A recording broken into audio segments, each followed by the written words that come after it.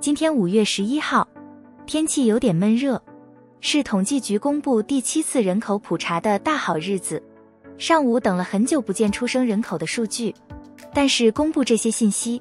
大家估计也刷到了。其中有一张图片引起了我的注意，就是这张，里面显示零至十四岁的人口总数有两万五千三百三十八万人。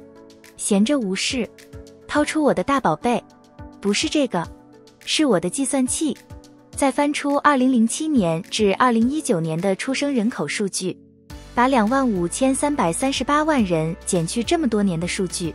出来不就是二零二零年的出生人口数据了吗？开始动手，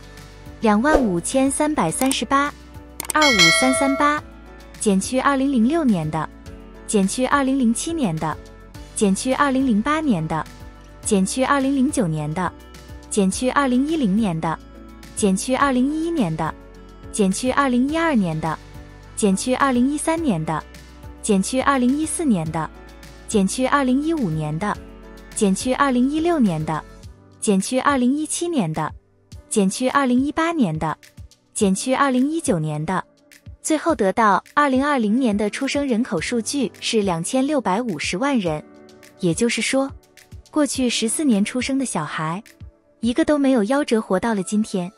二零二零年还要出生两千六百五十万人，我们大中华地区的医疗技术简直逆天了，这是今天的好消息啊！麻烦大家点赞转发给你的好朋友，跟他们一起分享这个好消息吧。